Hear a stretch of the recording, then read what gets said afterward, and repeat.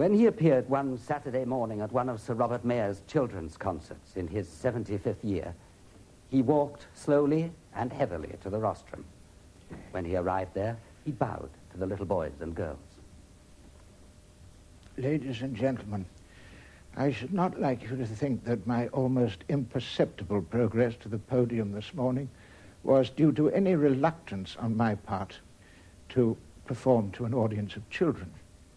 No, my slow progress was due entirely, I'm afraid, to the infirmities of old age. Now, the first piece on our program this morning is by Mozart. He wrote it at the age of, well, when he was about your age, sir.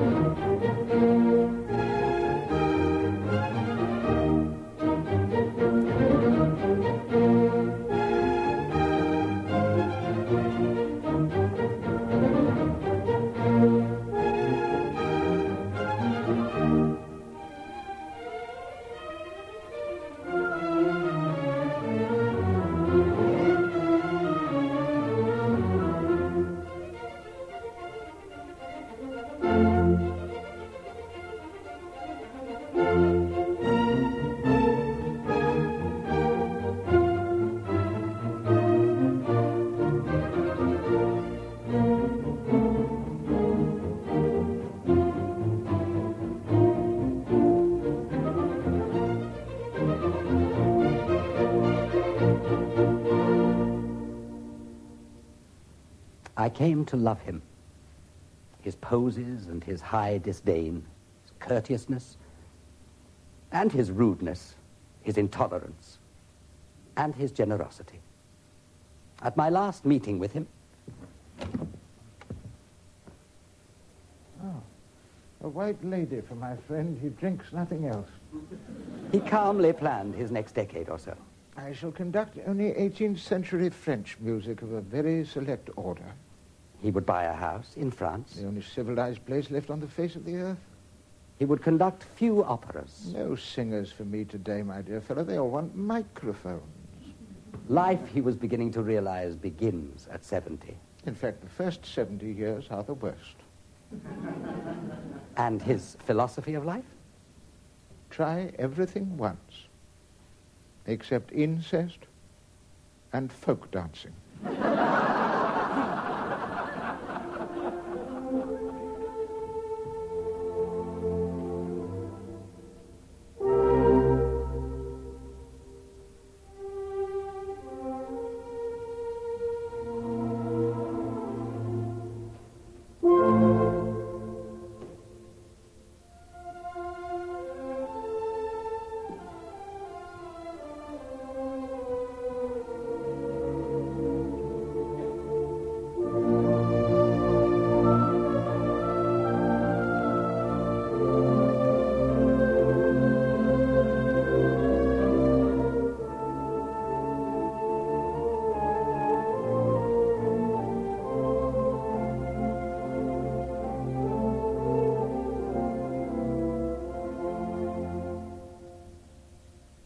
Cosmopolitan and Lancastrian.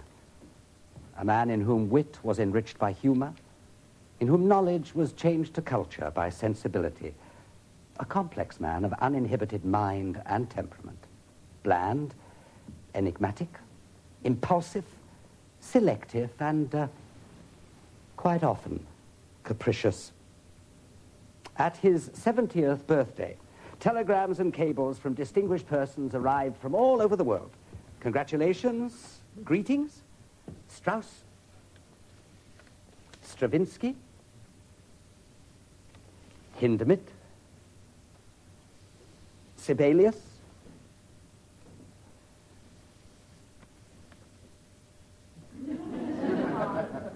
Nothing from Mozart.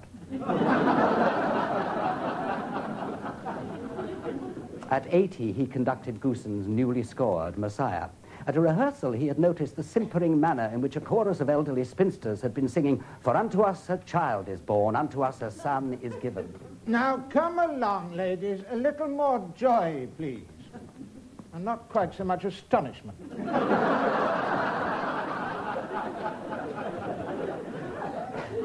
In 1957, Thomas Beecham was asked to make a speech at the University of Congress in Washington.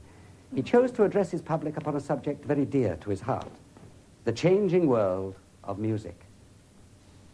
Ladies and gentlemen, the title of this address is really little more than the memories, the recollections, and the experiences of about 65 years of music on my part. Of the world of music that I knew as a boy, practically nothing today remains as it was. It may interest you to know that no one in any country has written a good tune for over 30 years. Now, think of it.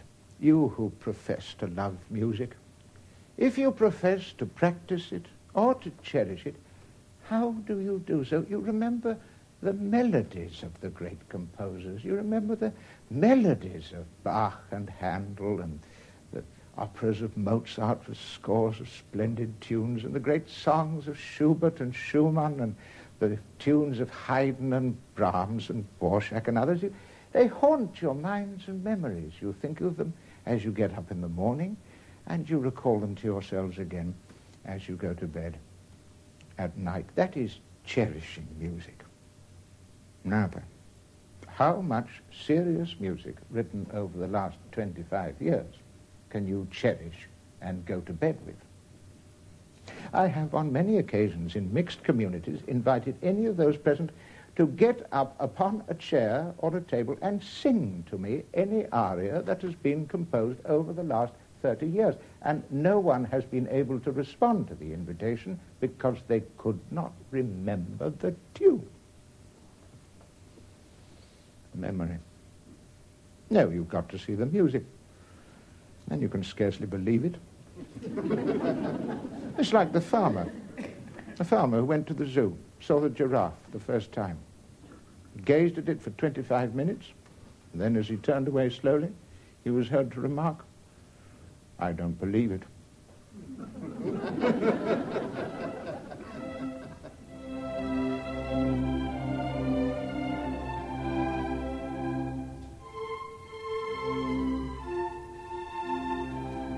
I knew every one of the melodies of Mozart from beginning to end by the time I was 10 or 11 years old. I never wavered in my devotion to the as tunes. Never.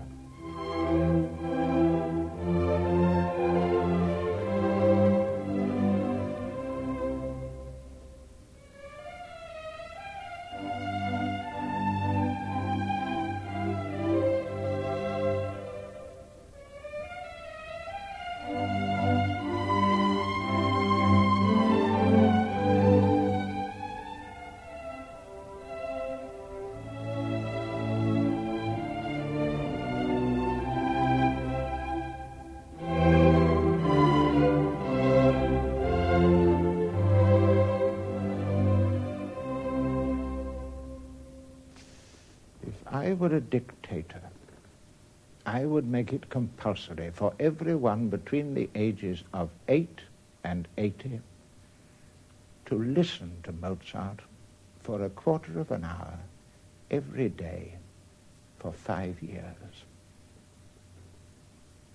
Now then,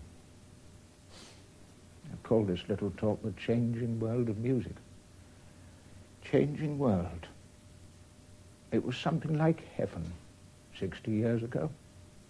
And I won't go so far as to suggest that it has reached the precise antipodes, but it is going there rapidly.